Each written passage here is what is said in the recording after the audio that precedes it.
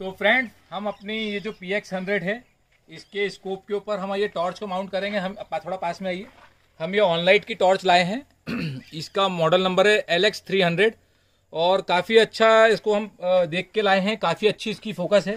तो इसे देखिए फिट कैसे करते हैं। आपको माउंट पे से फिट ऐसा करना है।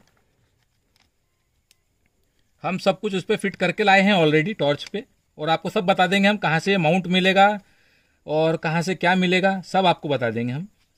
पहले भी हम इस पर काफ़ी सारे वीडियो बना चुके हैं। आज फिर हम नई टॉर्च लाए थे तो ले आए हम इसे साथ में। ये देखिए।